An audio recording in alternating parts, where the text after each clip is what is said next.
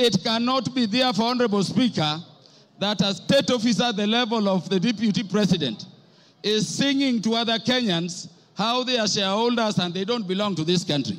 And Honorable Speaker, it saddens me that having given him the opportunity, the deputy president did not proffer a defense.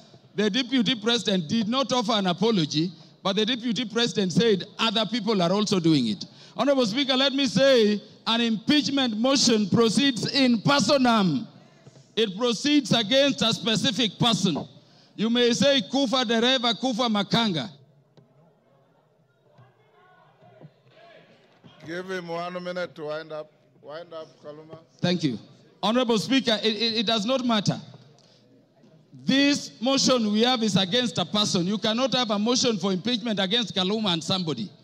Those who are saying Kufa driver, Kufa Makanga, bring the driver and we will also consider it on the merit. And on account of that, Honorable Speaker, this person must go.